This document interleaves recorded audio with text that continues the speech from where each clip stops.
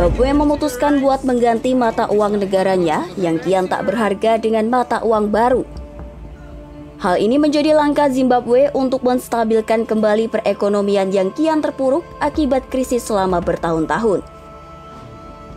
Bank Sentral Zimbabwe memperkenalkan mata uang baru itu dengan nama ZIG yang merupakan kependekan dari Zimbabwe Gold.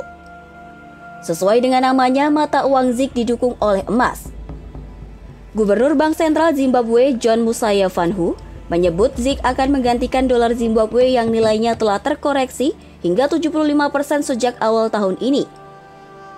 Akibatnya, pelemahan nilai tukar ini memicu terjadinya inflasi sebesar 55% pada Maret lalu. Sehingga pihaknya terus berupaya untuk memastikan agar mata uang lokal Zimbabwe tidak mati. We are doing what we are doing to ensure that our local currency does not die.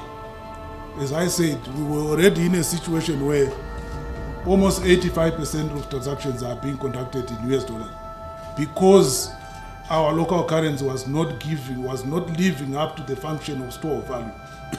Bank Sentral Zimbabwe mengklaim bahwa mata uang baru itu lebih terstruktur.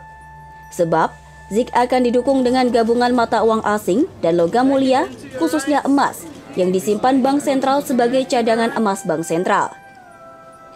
Kemudian valuasi ZIK bakal ditentukan oleh nilai tukar mata uang asing pada penutupan antar bank tanggal 5 April.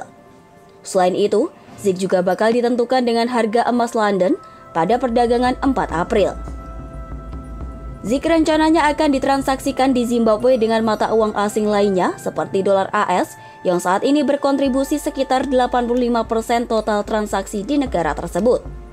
Musaya Vanhu menyebut bank harus segera menukarkan mata uang dolar Zimbabwe dengan ZIK. Sementara, masyarakat diberi waktu 21 hari untuk menukarkan mata uang lamanya dengan yang baru.